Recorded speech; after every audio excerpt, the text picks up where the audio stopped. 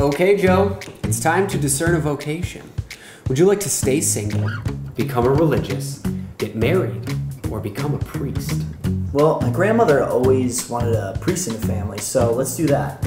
Ouch. So does this mean we're through? Babe, it's not you, it's God. Here is your sacrament card. Okay. Oh, sweet. I now have the grace to celebrate the Eucharist, anoint the sick, and give really long homilies. My turn. Time to discern. I think I'd like to get married. To Mark. Awkward. I'm honored. You are as cruel as you are beautiful. Uh, here you go. Thank you. I assume you'll take me somewhere nice on our honeymoon. Uh, Sarah, Vocation. what'll it be? Well, since Joe's a priest and Amy's married, I think I will be a nun. Okay, my turn. Forget something? What? Sacrament? What sacrament? The nun sacrament, you know? The one that gives me nun power? Well, you don't need a sacrament to be a nun. What? That's sexist. Yeah, I'm divorcing you, Mark. Actually, you'll need to seek an annulment. Oh, so- stay out of it, Padre. This is unfair. Religious sisters do so much for the church. So do religious brothers, but they don't get a sacrament either. Why not? Because they don't need one. Joe got a sacrament and he is single. Thank God. But Holy Orders isn't about giving grace to live a single life.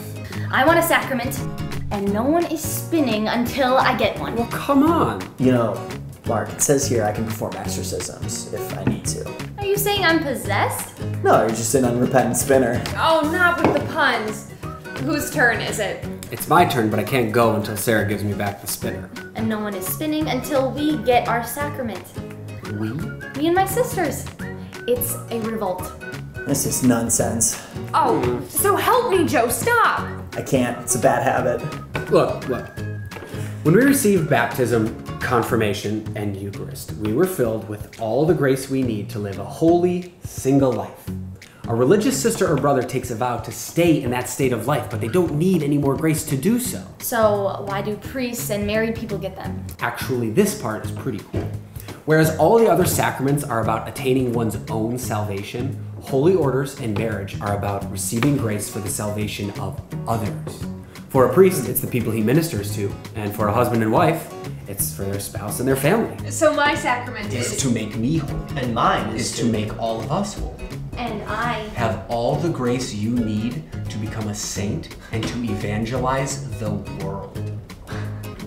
Look, as cool as holy orders and marriage is, all sacraments are bound up in the Eucharist, which we all get to receive.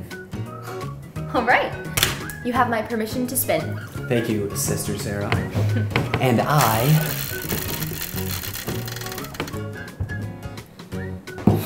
Die. Wow. A mortal spin.